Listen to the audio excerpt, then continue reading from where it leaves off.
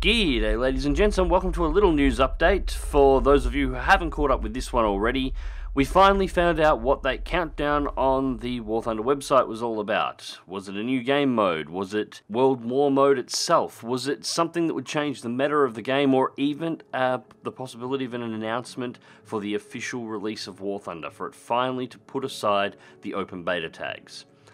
None of the above. It was the announcement of a Kickstarter or a self run Kickstarter by Gaijin for a new game that is currently in development. And outside of this new game being published by Gaijin, it has nothing to do with War Thunder. Yeah, I'm not going to lie and say that I'm not a little disappointed. But, anyways, Let's go over the announcement first and see exactly what this is all about. So basically what has been announced here is the development of a new game by Darkflow Software. Darkflow Software is a new studio assembled from a large number of former Gaijin employees and as I mentioned a moment ago, Gaijin will be publishing them. Enlisted from the description seems to be a squad based multiplayer shooter that will feature an arena style team versus team game mode, kind of like Red Orchestra 2, but will be primarily focused on large scale objective based battles with a focus on realistic objectives. I guess like Heroes and Generals would be the best way to compare against the second half. Anyways, the intention is to have the player walk in a real soldier's boots, according to the release blurb on the game, with the other highlighted features being the accuracy of the battles portrayed, with the missions for each team being sculpted to create realistic encounters, such as defending delaying a landing party or defending securing a bunker. The announcement explains that currently this is something we can experience in a single player games, but not in an online game with human opponents. And this is most certainly true, but of course, we'll come to that towards the end of the video. Anyways, the final listed feature of the game is the ability to control a unit on some maps rather than just a single soldier.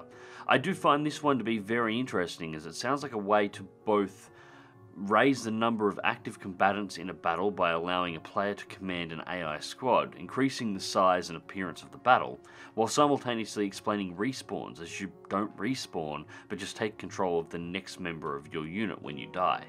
So, the end of the announcement, there was a frequently asked questions section, although I'm not entirely sure how you have frequently asked questions on an announcement for a game that nobody knew existed previously. But, anyways, uh, firstly, Enlisted is not planned to be a free to play game, but will be a buy to play game, so there you have it. You will need to purchase this one. Each campaign will operate as an expansion and will be sold in the style of games that are currently using a season pass on Steam, for example. And as a result of that, according to the release, there are currently no plans for any microtransactions, which is excellent. I am not a great fan of microtransactions. I am quite happy to see them not be in a game. I actually really, really like it when I hear an announcement that there will be no microtransactions in a game. So, beautiful. There are also no plans for player controlled vehicles at this time. That's a little bit more of a downer. That's something that I would have liked to have seen in the game, but it's at this time. Maybe things will change. So, the game does sound reasonably interesting. It is. Uh, it's definitely a genre that has other active games at the moment, but nothing overly large. Uh, but most of those games that are active are a few years old now, so a new entry is not necessarily a bad thing. But before we can really go through to any conclusions on this or anything that I'd like to bring up, and I do have a couple of thoughts that I would like to mention this wasn't just the announcement of this game existing, this was the announcement for basically a self run Kickstarter, so we have to talk money. Currently, Gaijin are asking for $250,000 to make enlisted on this self run Kickstarter and carry stretch goals out to $1 million. Should the game not be released, your investment will be returned to your Gaijin account and you can spend it on Crossout, War Thunder, or Star Conflict as you wish. The current pledge amounts range from 6.99 US dollars for a basic rifle to 49.99 US dollars for everything. It is worth noting, however, that only the 20 US dollar packs have part of the campaign and only the $50 pack has both campaigns that will be available on release. That is the Battle of Moscow and the Normandy campaign. Anyone pledging below $20 will need to buy a campaign on release on top of their pledge investment. Alright, so overall, this seems like a fairly interesting game, at least for a, a description of the game on a Kickstarter announcement. There's a couple of features in here I like, there's a couple of things I'm a little curious about. For example, I really like the unit system.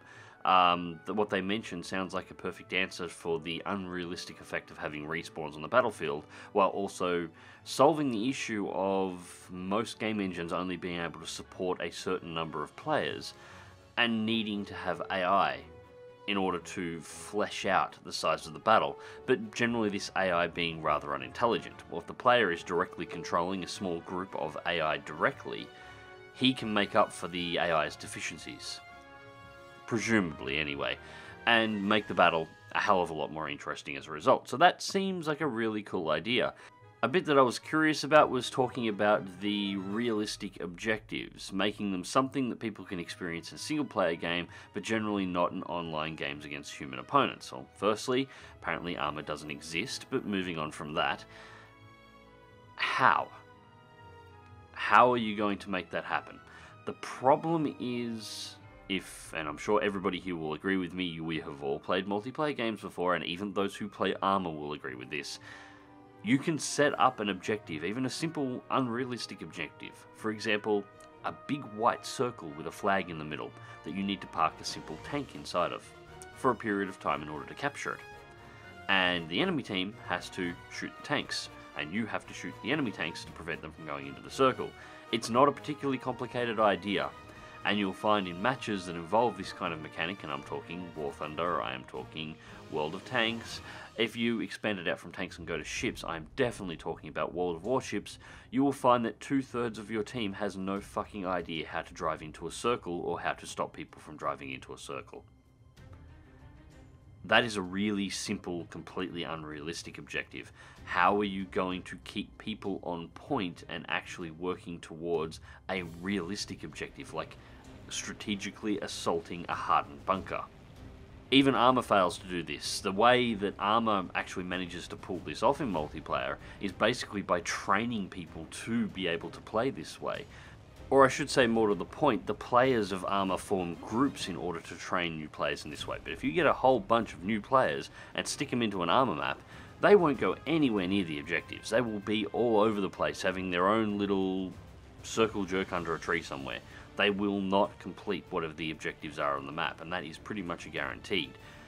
So unless you're planning on running a enforced training regime in order to get all of the players of your game into that assault and defend objective mindset, that milsim combat mindset, or you're planning on making the objectives so on rails that a player cannot jump the barricade and go and pick his nose under a tree, I'm not entirely sure how you're planning on making that actually work. You can make the objectives, but it doesn't mean anybody's going to go anywhere near them or even play that section of the game remotely realistically.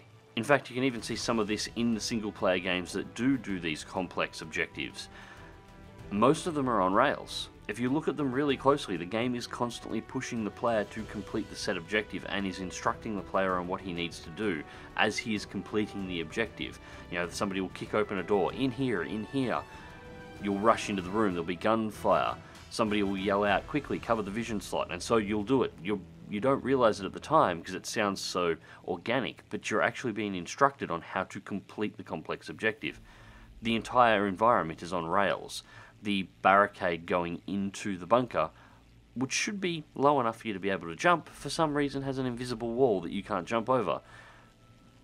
These little set piece battles, which is sort of what's being described here, they're generally designed so that you can't go and do anything outside of what the game wants you to do, which is why they generally work.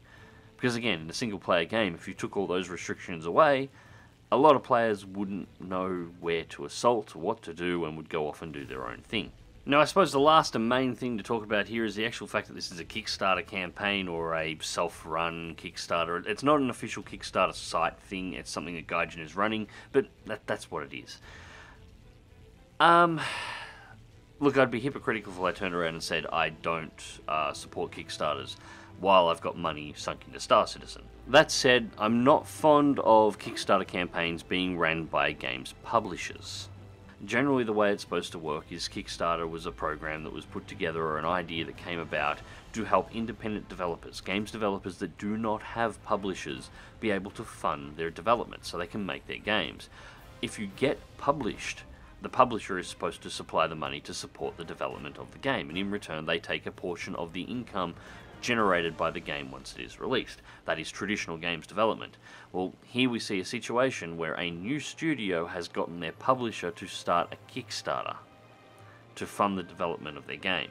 Yeah, not exactly a huge fan of the idea personally, but hey, it does have some interesting side effects though. Normally in a Kickstarter campaign, should the game fail, basically your money's gone. It goes up in smoke, that's it.